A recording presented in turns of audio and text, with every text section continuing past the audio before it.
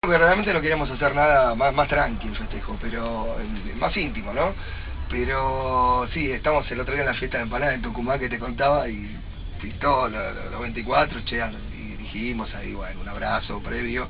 Y no, contento, contento. Va, estamos con un maratón encima, se vamos a poner las pilas. Usted no para, Vamos a tomar la leche ahora.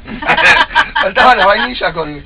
Después de las Sí, empanadas. Sí, muy loco, muy loco, muy loco, muy loco. Bueno, también se, se juntan meses que son por ahí como la, la época del mundial, o son, son más tranqui, ¿no? En invierno generalmente y después empieza la actividad en casi todos lados o coinciden eventos o fiestas de- como esta.